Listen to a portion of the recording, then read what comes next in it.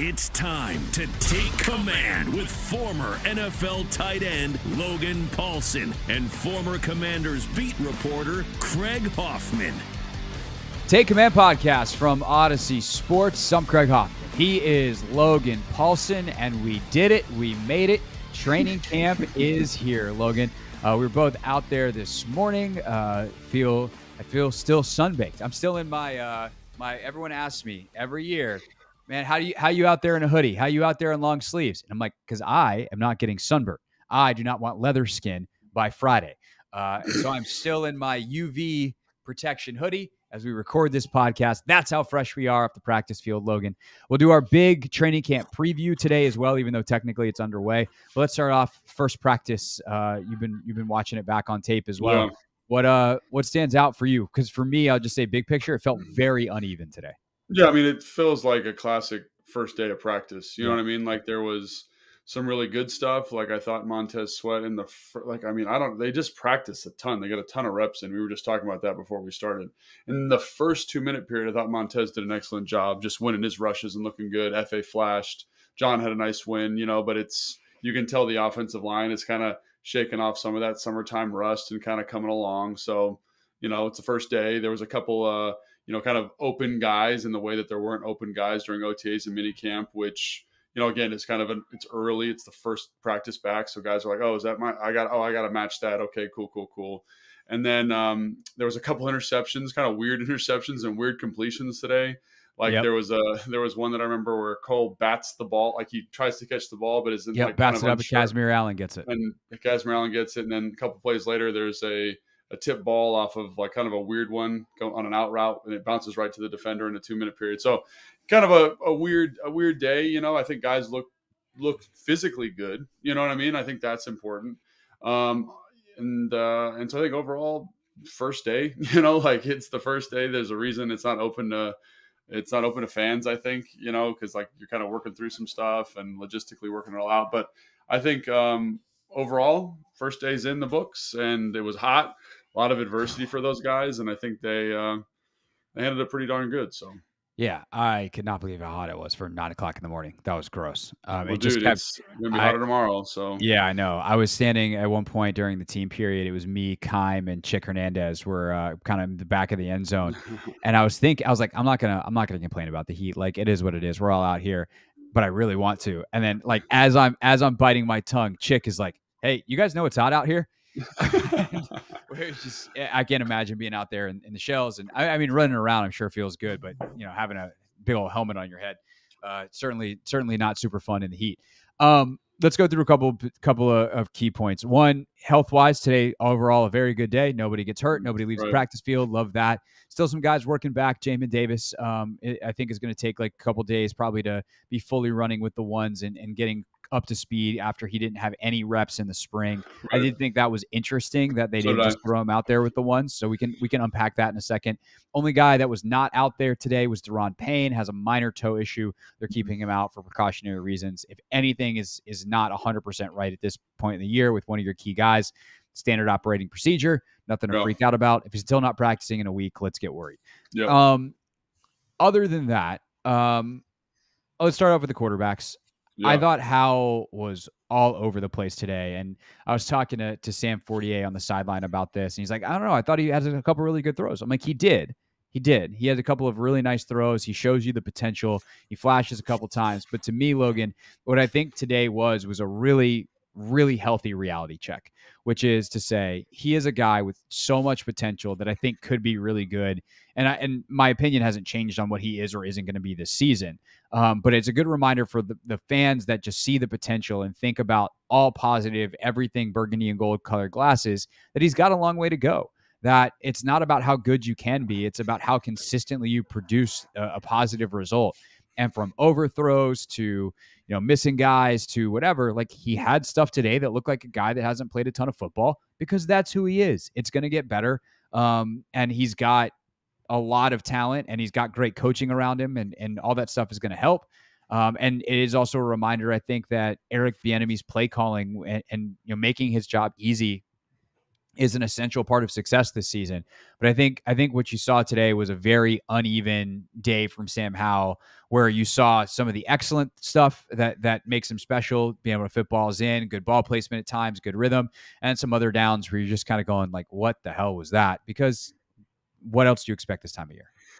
Yeah, I mean, had some misses, but I think overall, like I was generally kind of positive on the day. I would say, you know, like it's again, it's kind of in the same way that it's the first day. You know, for, him, for him to be making some throws that you feel pretty good about, and obviously there was some kind of odd misses, but I didn't feel like he was late, too late with anything. I didn't feel like he was too early with anything. I felt like his timing was pretty good, and you know, there's a couple things here and there, but um, you know, he made a really nice throw to Antonio Gibson in seven on seven, kind of, yep. you know, dropping in the bucket. Felt good about that, and like just generally timing, small window throws, all that kind of stuff felt really sharp. So on the whole, I've uh, you know again it's the first day, but you know it's like a C plus kind of day for him, and I think that's fine. And um, hopefully he continues to get better, and I think he will. Um, I think the offense will continue to get better, and you know it's so weird talking about one day of practice, but it's it's the first day, so there was some mistakes, there was some good things. You can tell guys are kind of finding their legs a little bit, mm-hmm. and that's just going to get better as you go. So yeah, no, I, I, definitely think that's true. Um, there was there was one play in particular that I was curious to ask you about. Um, Terry had a completion uh, where he runs an in and out route uh, on Forbes, yeah. and the only reason I noted it in my was notes that was completed. It was. It was. Tell, um, yeah. and it was a really good route. I mean, Forbes Forbes was an interesting one to watch today. Uh, Kyle and I were talking about this on the side where you know he shows his recovery speed a lot, but like do you want to always be recovering? Not in the NFL, not not at this level. So it's going to be something where he's going to have to learn to pick and choose his spots of where he can gamble and not. And you know, it's day one again. Yeah. But he um Forbes jumps a little bit on, on, it. Terry puts runs a really nice, what looks to me like a really nice route, uh, coming in, gets Forbes to bite down on it, then comes back out, makes a tough contest, contested catch. And as he's jogging back to the sideline, Bieniemy calls him over. And I was just curious from watching the rep and and with your level of expertise, if you have any idea what Eric could have been bringing him over about. Yeah, he brought Forbes over. You're saying? You know, he brought Terry over. Hmm. Yeah. So on that route, I thought Terry beat him too bad off the line of scrimmage. Honestly, like he beat him. It was a really so basically like it, it's like what you'd call like a Venus in Kyle's offense. I don't even know if Kyle still calls it that. But basically, it's like a now route. So it's like a one step slant and in and then you're returning out. So everybody in the NFL runs a version of this route. Yeah. They just call it something different. And Peyton so Manning you, famously in uh, one of his Peyton's Places shows, they call it the burger route because it was in and out. Which and out, sure. Yeah. Cute. And and so like basically on that route, like anytime you run a double move for all those kids at home, you don't want to beat them too bad on the first one that you can't get back out of it. And so like basically Terry does like a nice little double stick, you know, steps Smoked him steps left, right, gets Forbes off the spot really nice, then uh, beats his inside hand, runs in hard. And I'm like, if you had the slant here, this is a touchdown. Like that's how clean the win was, right? And so that is too clean of a win on that. You kind of want a messy win, and then you can shed them off late, and then you want to you want to kind of preserve the the out of that is what I would say. Like, and again, I don't know what EB's coaching him on. Yeah, but if I well, that, coaching, that's what I would. That was what if I had to guess something, that's what I would have guessed. Yeah, and again, like we don't know, and like it could be like, hey man, like nice job or whatever he's saying. But I would say like anytime you're running a double move, you don't want to win too bad right away. And Terry beat him pr- very very cleanly. And so I think that's what I would just say. Say, hey Terry, man, like you know, push up a little bit more, take your time, let him feel like he's got you. So when you separate back out, that throwing window is a little bit better, and it's not this kind of it was talk about nice throw by Sam. Holy cow, that was a perfect yeah. ball by Sam. So you know, like there's throw like that, which like literally tight, very tight window, very far throw, only where Terry can get it. Because on the retread, Forbes is actually in a pretty good spot to like break the ball up, you know. But um, Terry does a great job catching the football because I because I'm watching it rewatching on the film and I did catch that, but you were right there, so you yeah. know. But um, yeah, I'd say that if I was one coaching point, that's what it would be. Just hey, a little bit messier on the on the release there. Yeah, eh, but that's like the kind of detail that you know does that get cleaned up in years past, and yeah. you know what kind of caliber of coaching are, are, these guys getting? And you know, hey, good job, result fine. But like you mentioned, like it took a perfect throw from Sam. It took this outstretched diving catch from Terry to be in a place where only he could get it away from Right. Forbes. Where if he runs the better version of the route, doesn't win so decisively on the on the first of the double move, and instead wins decisively on a second, can Sam put it somewhere where he can catch it standing up and get a run up the sideline, get an, maybe even a first down as he's stiff arming a guy like Forbes for seven eight yards getting pushed out of bounds. So like those are the details that help you win, and um, I just thought it was interesting that you know, t- I, I- it's just something that I'm not used to. Like, you know, the offensive coordinator taking the time while he's running the next play to call the star wide receiver over and give him some extra points right then and there. That doesn't mean that they wouldn't necessarily be brought up in the past by a guy like Scott in a meeting room, but it's just it's just a noticeable difference. And you know, there's only so much to talk about after one day of practice. Well, yeah, I think that's the other thing is you know obviously like I'm I'm I'm an OC now in high school, and one of the things like I remember now that I'm in it, you kind of see the value of doing stuff like that. Like because Kyle was was very methodical about that. Hey man, no, like do it like this. Hey, we got to be here. Here's the timing, and like it's a testament to his genius to be able to hold the plays that he's calling, get the corrections called, and do the next thing. So I think that that is it's it's important, man, because the more times you get it as a player, the easier it is for you to make it kind of second nature, right? So like there was a a play later where they're running four verticals, and I kind of thought to myself, man, if if the guy who's number three here is a little bit wider, like that's probably a touchdown, and and you know you don't see it on the field, so that's where the meetings are for, right? And I you know I'm just assuming that's the correction they want to make, but um but that kind of stuff is so so important. It's so valuable because it's really the devil's in the details. I think we've talked about this before on the show. It's not like there's no like magic bullet you know? Like there's if you watch andy reid's office if, if you watch kansas city if you watch kyle they do a good job of scheming you up and winning with the pen but also there's a certain level of detail to like just basic stuff that puts you in a better position to be successful so i think that's what you're seeing here and like that's kind of what you're alluding to there with the eb thing so I'm super excited. Uh, you know, early, it's early. They didn't do anything crazy offensively today. They're nothing crazy defensively, but um, it's just it. That is how you win football games is the detail, right? Because you know, week seven when they run that route and Terry's open by 10 yards and gets a big completion and is able to run for a 30 yard gain in a two minute situation, like that wins you football games. And the more times as a coach you can get that addressed, the more likely the correction's made tag this podcast. We'll ins- we'll, we'll insert this part in that in that podcast in our film breakdown. Uh, so defensively, I, I mean, I think to me the most important thing on the day. Well, there's two most important things. Um, one is Jamin. We'll circle back to him in a second. Yeah. Two is which is just like okay, where is he? How does it? How does that develop? Something to keep an eye on that maybe we didn't have a pin in before. But I loved seeing Chase out there, sans knee brace, explosive, yeah. decisive. I thought he had a good day from what I, you know, again, you're trying to watch so much at once. Yeah. So for all I know, I watched three good reps and he actually stunk the rest of practice. But Yeah. when I was when I was watching him in some of the team periods, I felt like he was more explosive certainly than last year. Um, and he played with like an urgency and you know didn't stutter step. He he just he just went and Mhm. you'd see him bend and dip around the outside. Good hand, you know, work and and and punch and tackles out of the way. It's hard to know just how effective it is because there's no pads, but I, I think what you're looking for in these first couple of days without pads, specifically from Chase Young, is is there any hesitancy? And the answer was no. And I think that was great to see. Yeah, I mean, I've, I, you know, I thought he had a good day. I, I think, you know, if someone deserves credit, Charles Leno deserves some credit. I thought Leno came out with like a good, just looked good. Leno looked good, very sharp, and you know, like in, like you said, in these periods, it's really hard to tell like who's winning exactly because like there's one where Chase kind of gets a late win, balls out. It's like, is that that's probably that looks like he might be credit like Chase might be asking for a sack, but I think the ball, you know what I'm saying? So it's tough to see Right. like where he's at. But in terms of movement stuff, I thought it was good. I just I just want him to be as polished, you know, as like a guy like Montez was today. Like Montez like looks like he's improved. He's added some stuff to his repertoire. He had a very good understanding of what it took to beat Wylie today, and I think that that is something that I'm just kind of waiting for Chase to kind of get into, right? And you know, it's the first day of practice, so like he's got Sure. three weeks to kind of figure all that stuff out. Um, but you know, like John Allen, like doesn't miss a beat. Looks like the same guy. Get beats beats some guys on a couple inside moves. That's great, you know.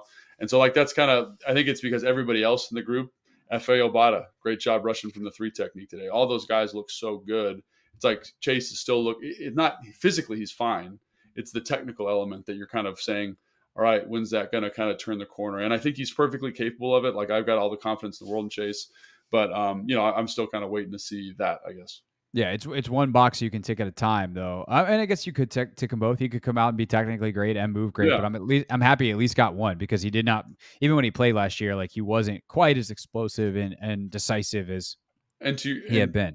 And to kind of follow up on that, like you you mentioned, like there's times where he's just running around, like being physically freaky, you know, and I think that mm-hmm. gets him eight to twelve sacks. You know what I'm saying? So like, there's not there. This is a good outcome if he's physically ready to go, I guess is what I'm saying. So there's no reason yeah. to be like, oh God, Chase is imperfect. It's like physically had some reps against Leno, who, like I said, I thought had a very good day. And you're like, man, that's that's almost winning football right there. So he did a good job. You know, like I'm just saying, like one of my things I'm looking for for the rest of the training camp. But good, good yeah. day for him, I think. Uh, Logan Thomas, by the way, also uh, no yep. knee brace today, so good to see both those guys back, uh, feeling like themselves or as, as good as they can, and not feeling like they need that brace uh, to support.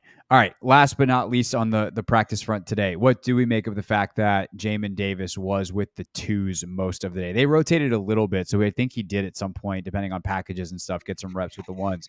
But it started as you know Cody Cody Barton and Khaleke Hudson, and then they were playing exclusively with either a Buffalo or a, another nickel player. Rachad oh. Wildgoose got some snaps. Cam Curl got the snap some snaps in the Buffalo nickel. Obviously, sure. the twos got out there. Quan Martin was in that spot. Um, so what do you what do you make of that? Um, I don't know, honestly. Like, you know, because Cam came back and he's back in his normal spot, and Cam and Jamin aren't necessarily the same guy. I think it's the first day. I think they're probably trying to see what it is. And I think I, I kind of get a feeling, again, I haven't talked to anybody about this. I get a feeling just in how they've handled Jamin in the past that they feel like they need to give Jamin like a little bit of a prod. You know, they can be really hard with him. And I think this might be a way just to be like, hey man, like nothing, nothing is for sure. And like we've talked about, Khaleke Hudson had a very good spring. So like you got to earn it back. And I think Jamin looked he did some stuff that he did really good today, and I think that's good. It's just about continuing to build in that. And I think by the end of this week, you'll probably see him getting more reps with the ones, and probably by the end of camp, he'll be getting even more reps, if not all the reps with the ones. So I think it'll take some time, but I just feel like that's kind of how they've handled him. You know, they've been a little bit ag- aggressive. Is that the right word? I don't know if that's the right word or not. Like a little bit harsh. Like you know, like yeah, you, you I think harsh coach, is like, the, the, right word. Yeah, you, you know, you you kind of there's certain guys that respond well to hard coaching, and I kind of feel like they see Jamin in that way, and that's what this to me falls in that category, in my in my opinion. To me, that I mean, I criticized them for how they handled Jamin last year, and then I look like an idiot because he was awesome. Um, yeah. But you know, so yeah. my two cents, take it for what it's worth. I think I would be valuing the cohesion with Cody Barton if I think that's going to be my starting linebacking core. I think I would I would value getting Jamin those reps and not worry about his motivation at this point. Yeah. They know more than I do. Um, they know where he's at. There's also an element of like letting him get up to speed, um, which yeah. he was asked about today and said, like, yeah, I'm just trying to get up to speed. Um, and the speed of the twos is going to be a little bit slower than the speed of the ones. And so sure. if he can operate with the twos, get some reps in there. But I, I then then and that helps him, you know, long term fine. I think the other thing that was interesting was he was playing Will with the twos because David he was out there with Mayo. Yeah. And I kind of anticipated him being the starting middle linebacker for this team. So I am yep. very curious to see how that you know goes over the next couple of days. Um, they have options they like, obviously, with Barton and and Mayo's always the kind of their fail safe. But um, I I certainly expected Jamin after what he did in games in this defense last year as the Mike linebacker to continue in that role and to see him not out there with the ones. I hope is just a an end to the process of his rehab and not some other game that's being played uh, about a guy who's a first round pick. Like he's got to be great for them. He was a first round pick. That's why yeah. you take first round picks. And, and, if not, I think it speaks poorly of them. Not not like that's it. That signed, sealed, delivered fate, but like that definitively goes in the negative category. If Jamin Davis is a rotational backup by year three after being a first rounder. Yeah, I don't want to like. We should pump the brakes. It's the first day. Yeah, you know, like we're doing a yeah, lot yeah. of speculation. Like, well, we we can revisit this. I think revisit that kind of line of thinking. Yeah. I think why I, why I said if. Yeah, but I think the um, but I think that if, in in my opinion, like in, in mini camp and OTAs, they kind of move pieces around, especially in the mm-hmm. back end. You know, you get Quan playing different spots. You get you know, St-Juste playing different spots. You get Forbes at the nickel, and everyone goes, "Oh God, like what are they doing? What's happening?" But it's like you need like more longitudinal data, right? So for today, that's something to to make note of, and you know, if you tune into this podcast, we'll update you on that. But um, I wouldn't be surprised if tomorrow or two days from now he's playing Mike. And Mayo's, you know, I mean, they're going to move those pieces around because ultimately you want to get your best guys on the field. And you know, Khaleke's done a great job. He did a great job in OTAs. He did a great job in the last game of the season against the uh, uh against the Cowboys. Uh, they're gonna if they can find a way to get the best couple guys on the field, I think they're gonna try and do that. So, yeah, definitely. Thanks for watching this clip of Take Command. First, why don't you why don't you like it? It lets other people know that it was good, and then they should watch it too. And Logan, we have a new exclusive home for full episodes. We do. 1067 The Fans YouTube page. Go check it out and please subscribe. Yeah, do do what Logan said. Do He's it. Very, very smart.